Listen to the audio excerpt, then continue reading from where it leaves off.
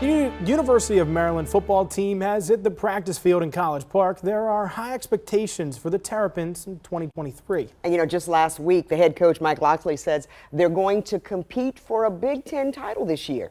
WMAR2 News' Sean Stepner went one-on-one with the head coach and star quarterback today. He has more for us tonight from campus.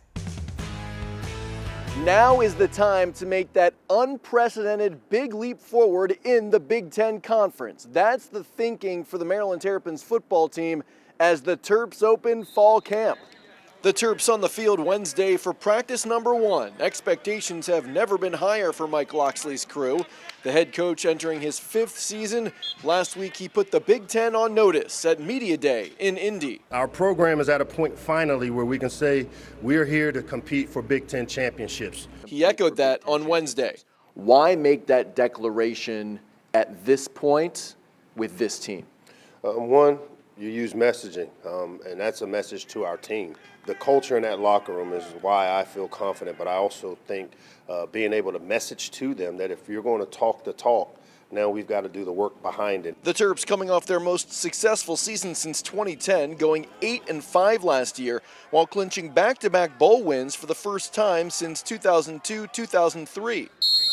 I like the way our locker room is set up in terms of the leadership, in terms of guys that understand the standard of how we want to do things. Guys like quarterback Taulia Tagovailoa, the program record holder in every major career and single season passing category. It was a no-brainer for me to, to, to, stay here, and I, I made myself a home over here and um, why not finish it out? Tagovailoa returns for a fourth season in College Park after spurning other schools who wanted him to transfer, reportedly turning down $1.5 million from an unnamed SEC school to stay at Maryland. He tells me the money was enticing, but there's unfinished business. Very tempting. I mean, you know, uh, the portal now today is it can be crazy and stuff like that, but uh, regardless of what it was, all that stuff's done, and you know, I'm here with the Terps.